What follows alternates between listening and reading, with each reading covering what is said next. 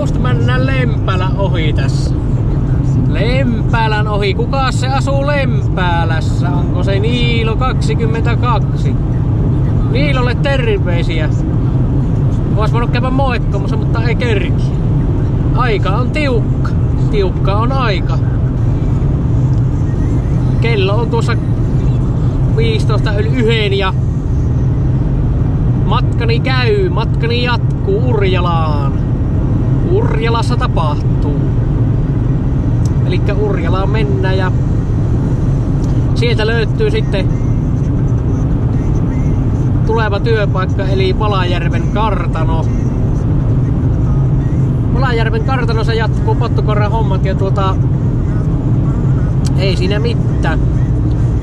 Tässä on ollut 420 kilometriä tullut tosiaan tänne matkoon Hommat jatkuu uusi kujeen ja katsotaan mitä tuleman pitää ja minkälaisia juttuja on luvassa. Eiköhän se tässä selviä. Mutta jatketaan matkaa ja matkaa Lempälä ohi ja kohti Urjalaa. Ei muuta kuin näihin kuviin ja näihin tunnelmiin.